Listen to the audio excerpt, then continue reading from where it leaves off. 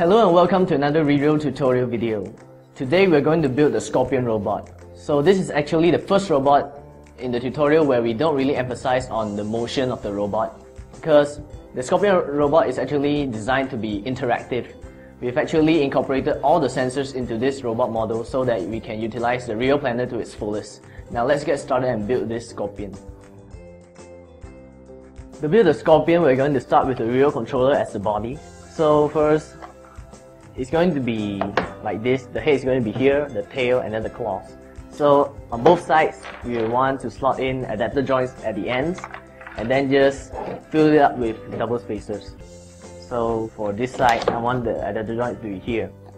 So four double spacers, and then one adapter joint. So just a tip, make sure that the adapter joint is always facing uh, upwards, the slot is facing upwards towards the screen.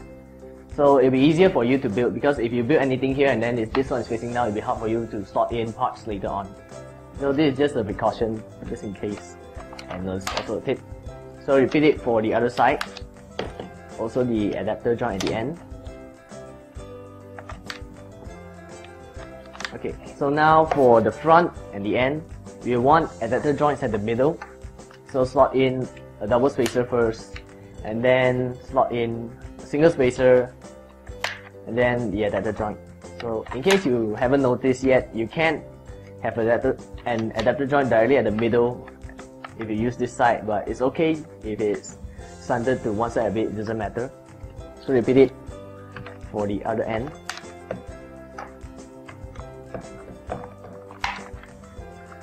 two double spacers, one single spacer, and one adapter joint.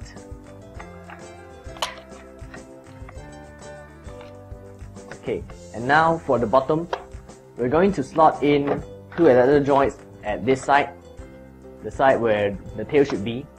So for this side, slot in the adapter joint first. Make sure the adapter joint is facing outwards, so to avoid the problems. And then repeat for the other side.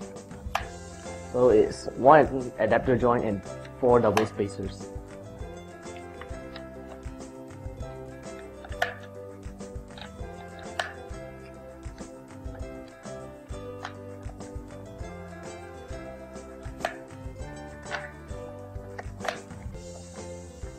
This, we're done.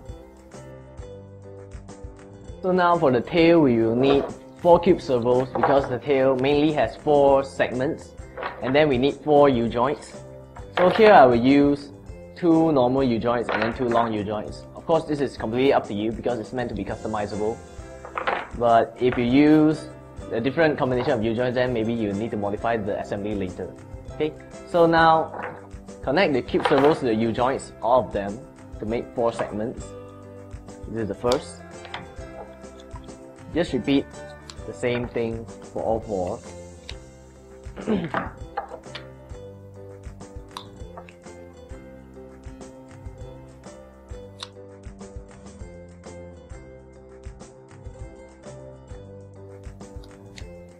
Okay, so now we have four segments. Now connect, interconnect to the ends of the U-joints, all four of them.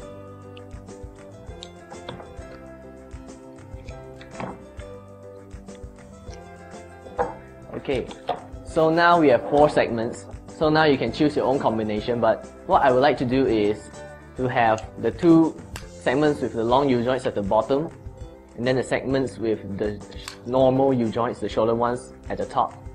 This is because the long U-joints one will be closer to the body this way, and then since it's closer to the body, then if you use the shorter ones, which is for more detailed movements, it will it will have no point. So using a long one to extend it further, then you can use the shorter ones that can do more detailed motions at the end, so that later when you put a sensor here, it will sense. You can make it sense more detailed. You can make more, let's say, fine-tuned movements. Okay. So now with the interconnect here, just slot in the ultrasonic sensor, whichever way you want, like this. And then at the end, right here, put an interconnect and then slot in the infrared sensor. So the tail will function like this. So the ultrasonic sensors in front and then you have an infrared at the back so that your scorpion can sense things at the back, maybe obstacles or even enemies. And then lastly, an interconnect opposite to the infrared sensor So this interconnect is going to be connected to the body. And with that, we are done with the tail. So now we're going to build the claw. So the claw is very, very simple, the sample claw. Of course you can, once again, you can modify. So first connect a cube servo to a long U joint, like this. And then use an interconnect to connect the long U joint to the large U joint, like this. So this is the claw. So, so very simple. So just slot in another interconnect. So this is where it will go to the body. And then just duplicate this again.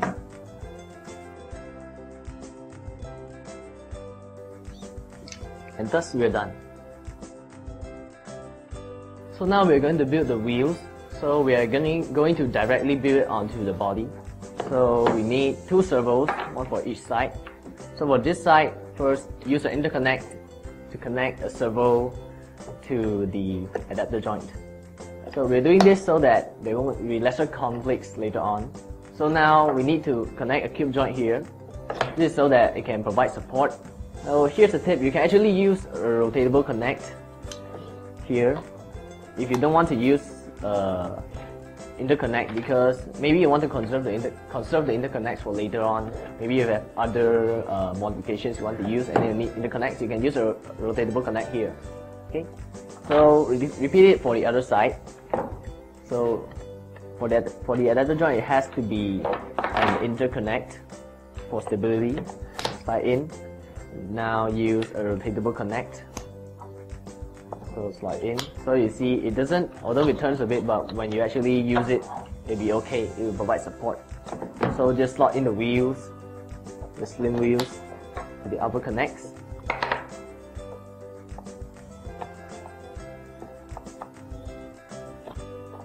And with that, we are done for this part. So now we're going to build the head. So for the head, we actually need to use two cube joints. So connect them together with an interconnect first. Okay. Now on one of the cube joints, slide in an interconnect at the top. So this is for the head module, but before that, remember to slot in a rotatable connect here.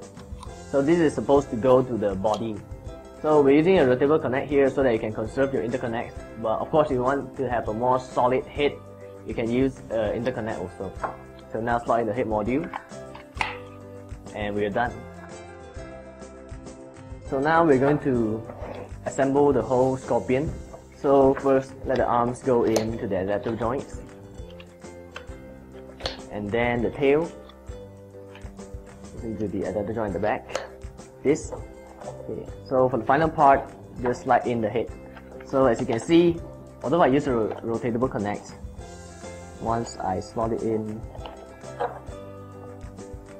it will be rather stable because the shape of the head allows it to it won't shake too much also. So it's okay if you don't want to use the interconnect like before and we're done. So remember that it's best to connect the wires of the tail so that they crisscross inside the U-joint so they won't protrude out the tail. That might cause some problems when the tail uh, is operating. And then also if you have other modification, remember to modify the wiring to the modification so that it won't cause any problems like the wires entangle with the parts and so on. And with that, we're done with the Scorpion robot.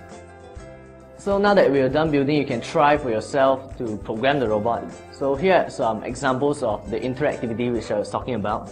As you can see, we have all three sensors built in. So there are total of four sensors because the head module has an IR sensor and a mic sensor. Here we have an ultrasonic sensor and here we have an IR sensor. So what you want to do is something like this. You can interact with if a person gets near it and tries to do something to it. So let's say, I'll turn it on first. So let's say someone tries to attack it from behind, it will see it and it will turn to the back to maybe defend itself. Or maybe if it hears a very loud sound, you retreat. Or even if someone tries to turn him off, it will attack. Okay? So this is what we are trying to do with the Scorpion robot. We don't really want to emphasize on the motion because even if we do, because I think it's important to try to explore more than just the more than just how a robot moves around. So until the next video, I'd like you guys to try to write your own program and most importantly, try to customize your own Scorpion robot. Because it doesn't really need to be just this this configuration. You can sacrifice the wheels to add pincers to the robot or maybe make the tail longer, it's all up to you. So until the next video, thank you very much.